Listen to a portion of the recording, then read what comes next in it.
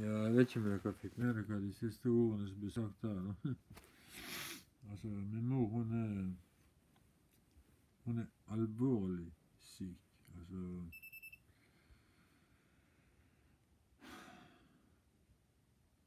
Hun er alvorlig syk. Hun skal litt feste i det der. Jeg ser er noe liv i det ennå. Lenge siden jeg har testet det. Før så kunne jeg gå rundt med sånne der eh, Sånn dette her, da. Og så han liksom Hvis jeg gjør sånn.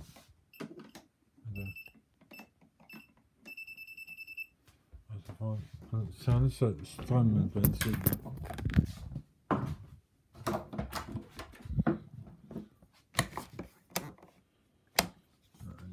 det er ikke, et lys der. Ja, det er det.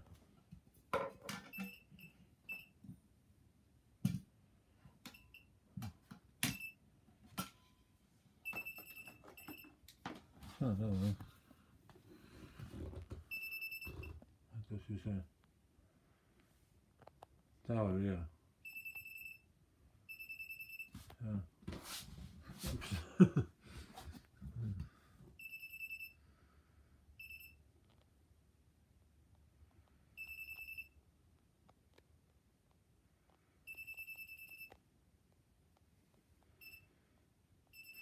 Før hadde jeg en dress med sånne rundt om i huset. da. Og uansett hvor jeg gikk rundt i huset, så peip den her. da. Altså, jeg hadde en som var litt mer sånn uh, sensitiv, da. Og den peip jo overalt. Altså, du kunne jo til og med stikke den opp i ræven og likevel peipe. Nei, det er bare tull. Jeg kunne ikke det, da, men Så denne her, denne her, der klarte jeg å sitte meg opp en gang. Datt på ræva etter året.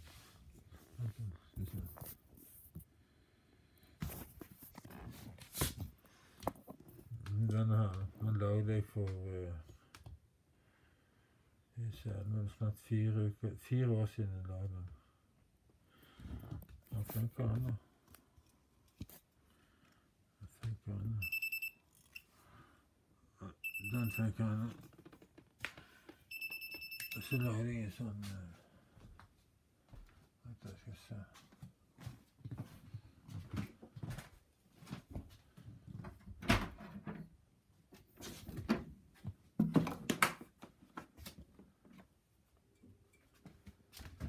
Står litt sånn Ser du uh, Ser du den Her var en sånn liten eh, Det de kaller for en Q24. da. Sånn.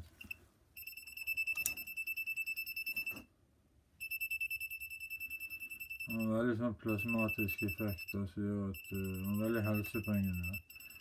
Ok, Han er jo litt ramponert, for uh, den òg stumpet jeg over en gang i tiden. han er jo han er i hvert fall tre og et halvt år gammel. da. Men han funker like godt ennå. Og så er han tilkoblet til Altså han tilkoblet til ene fasen, altså, sånn at du kan fint ta på han. Du kan fint ta på han. Ja.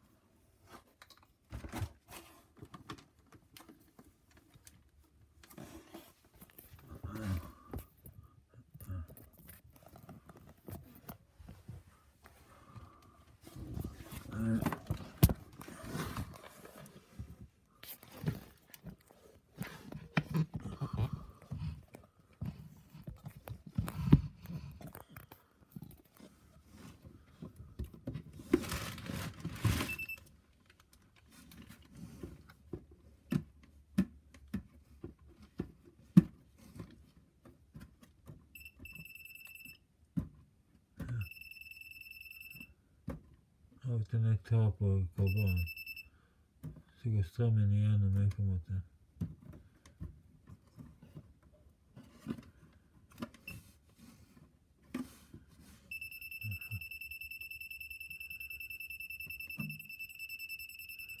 Ja, Nå piper jeg noe helt sinnssykt uansett.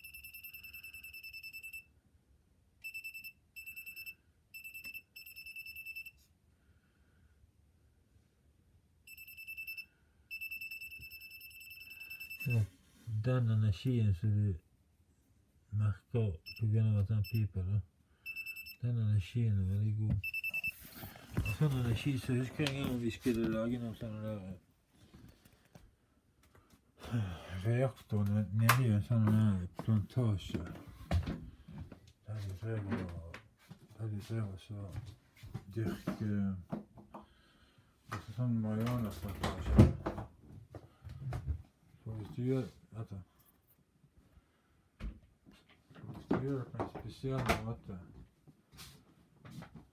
så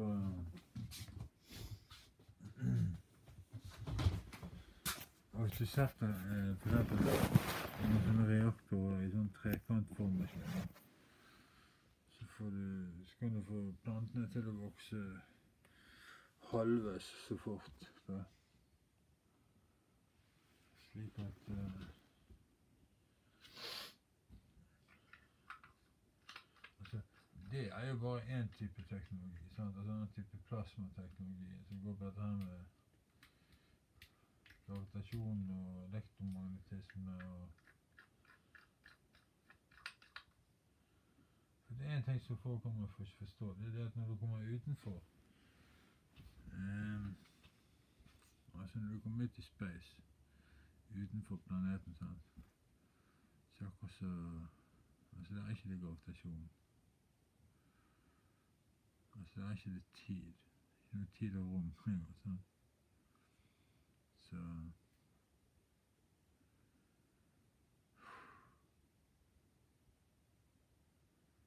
Det går ber og ber og ber om at nå skal ting begynne å ordne seg i livet mitt. For jeg tenker de siste året så har jeg hatt maks hatt maks tre timer i døgnet i søvn. Greit nok masse meditasjon og alt, men Sånn som dere hørte fra forrige video, da, min mor, hun er Hun er ikke frisk. Altså, hun er så full i panikk for alle mulige ting. Altså Har jeg feile sokker på meg, sant, så kan jeg få beskjed om at nei, det er ikke godt nok. Du må skifte sånn. Så Jeg syns det, jeg synes det er vanvittig tungt å leve under sånne forhold. En mor skal jo liksom være ment å elske barnet sitt. sant? Men i dag så vet ikke mødre hva det vil si å elske barnet sitt. Jeg tror at ved å gjøre sånn og sånn, så er det liksom det er det som er det beste. Sånt. Men Nei, dessverre. Det er bare ikke sånn. Det er bare ikke sånn.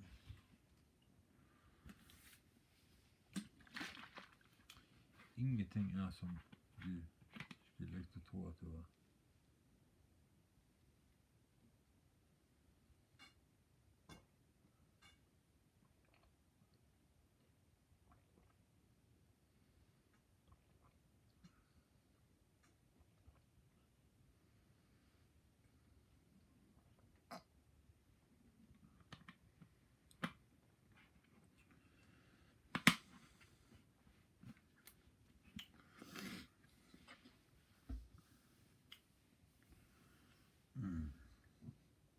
Uff, den var sterk. Uff. Noen ganger så kommer de der klumpene. og så klarer ikke å røre ut alt 100% Får du gjerne klump med gurkemeie eller noe som Sånn bitte liten klump. Altså, det svir kjeften.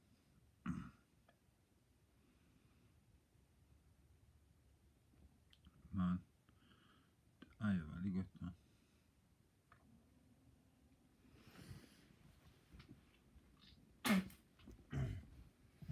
Jeg har alltid sånn bøtte ved siden av sengen med spetteklyser. Det er ikke sånn altså de har borti Old Western Saloon-spenn, men så en skikkelig bøtte med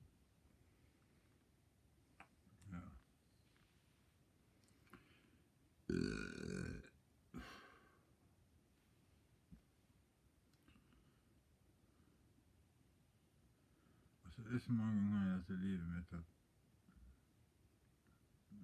Så det er noen ganger i uken da, at min mor kommer med sånne anfall, da. Og da er det ingenting som er godt nok. Og hvis jeg sier til henne at du Det kan være du trenger hjelp, mor. Da er det meg som får det. Altså, det er meg som blir kastet av gårde på sinnssykehus. Sånn. Men samtidig så vet jeg godt at hun har aldri, aldri klart å overleve på et sinnssykehus. Sånn. Altså, for sånne vanlige mennesker du ser, så du ser at i samfunnet i dag uh, legesekretær og alle disse folka, bankfolk og sånn, så tror de har en sånn rettferdig jobb, og de gjør god samfunnsinnsats og liksom føle seg veldig verdige på den måten. Da, fordi de kan, mange av de kan også rakke ned på andre med, med loven i hånd. Og det gjør at enkelte får helt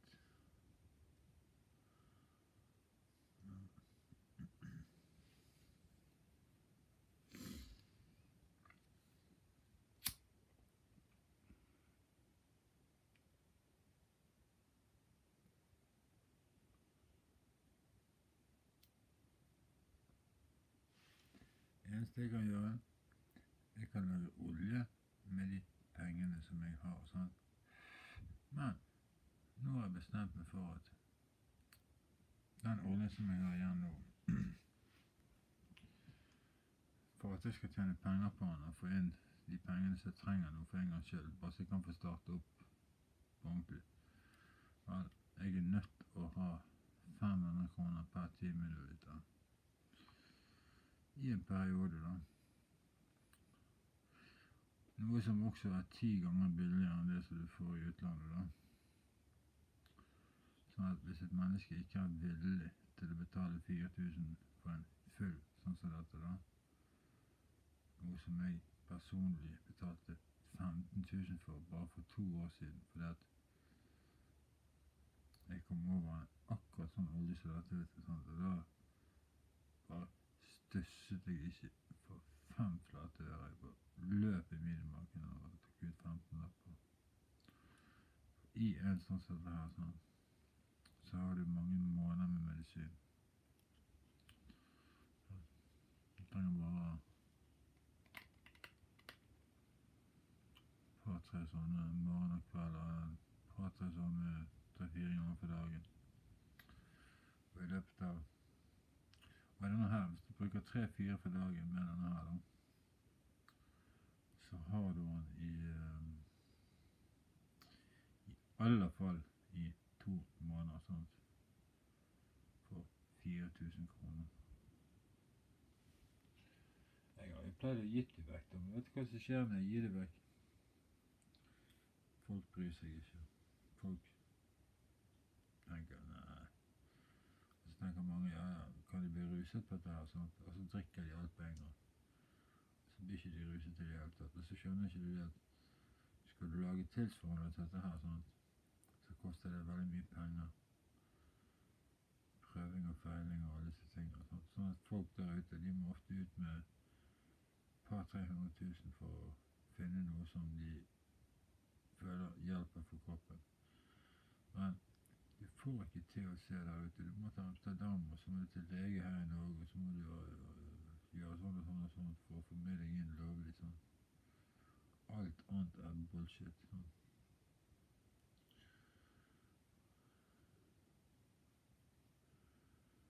Så Men selvfølgelig, folk som kommer, kommer på døra, de får jo de får jo gratis eh, påfyll, da. Så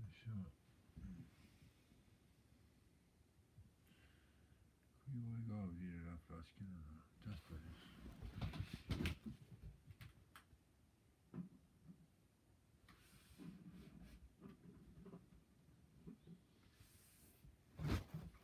Sånne flasker som dette er jeg på jakt etter. Dette er 30 milliliters flasker. Jeg kjøpte de på sånn sjappe nede på bystasjonen.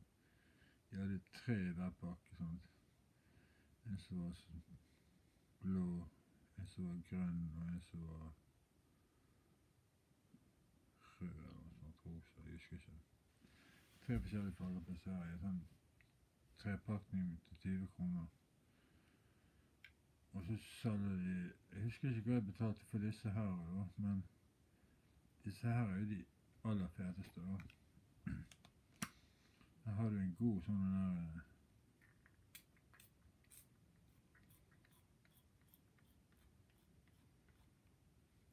så her får du fem-seks dråper i hver sprut. sånn. Så her koster 4000 òg. Eller folk kan reise til utlandet og kjøpe de for 30. Sånn. Eller disse små flaskene som de går og tar én og én dråpe fra. Sånn. Men tingen er det at jeg kan hjelpe folk å lage hele glass istedenfor. Jeg kan lage litervis til folk. Altså hvis jeg lager en liter til deg for 12,5 Nei, en liter for 25 000, sånn. Men altså, da må du hoste opp 25 000. Og så skal jeg lage den literen til deg, og den blir sterk og god. Og den kan du i hvert fall pushe videre for 1000 kroner per 10 ml. Sånn. Så hvis du har en liter, inviterer 25 000 på en liter, vel, så får du inn igjen 100 000. Eller jeg kan kjøre litt lavere kvalitet. Da får du inn 500 per flaske. Men altså, det er jo alt opp til den som skal selge videre. Fordi at normalt 500, over 500 kroner flaske, mer enn det, det går ikke. Kommer ikke betale. Skal prisen bli dyrere, så skal også kvaliteten være deretter. Så altså,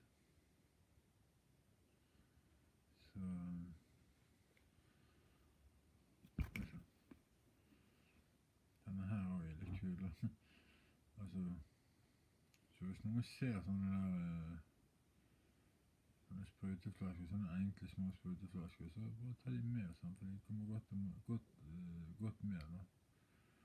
Dette her er sånn som folk trenger å ha en i hånden hver, da. Eller en sånn. Det er godt nok.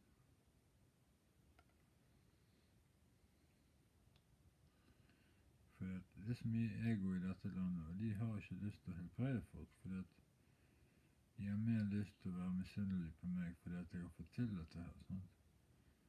Og veldig mange nei, de har ikke lyst til å være med meg og drive med olje, fordi det er det samme som at da taper de ansikt. At, Altså da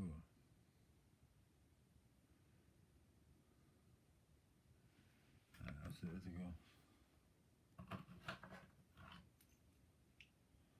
Altså, hakkande gale. Altså, alt dette her samfunnet eh, Kaos i dette samfunnet, det er så sykt. Mamma. Ikke klokken er 05.14. På tide å komme seg bort på mølla da snart. Og vente til min mor våkner litt mer, sånn at jeg kan slippe å høre en haug med Du må ikke, du må ikke, du må ikke. Sånn. sånn. Hvis folk vil ha olje, vær så kom, kom ut, vær så god, kom ut på skjærgården. Du skal få all den olje du trenger. Men jeg er også avhengig av penger nå i disse dager for å få kjøpt mer. Jeg kan ikke bare gi vekk helt ennå. For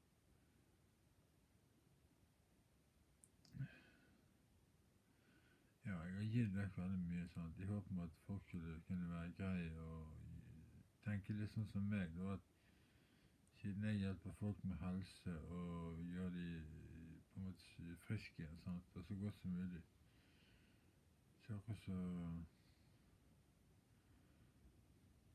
Ja, jeg husker alle de, alle de her som jeg har solgt for 500 kroner, sånn, fordi at folk spør hvor mye skal du ha for den? Sånn, så sier jeg ja, disse her koster 1500. Ja, ikke det er litt dyrt, og sånn, sier de. Vet du hva, når folk begynner sånn, altså, ikke det er litt dyrt, ja, da bare sier jeg at dere kan heller få den gratis, da. Heller få den gratis. Ferdig arbeid, lykke til. Sånn er det bare. Hvis folk begynner å prute på prisen på dette her, så sier jeg bare hei, ok, vær så god, da får du ta den gratis. Det som da skjer litt seinere frem i livet, det er jo det at de som jeg har gitt gratis til, sant, og som får et nytt liv, sant, de vil jo stå i gjeld til meg da for resten av livet. sant, altså Spesielt siden ikke de har lyst til å betale heller. sånn. Så ender det opp med at har de lyst til å beholde livet og helsen, så Du kan si det sånn, de får ikke en dritt med seg inn i himmelen. Sant? Men ok, jeg løser opp denne.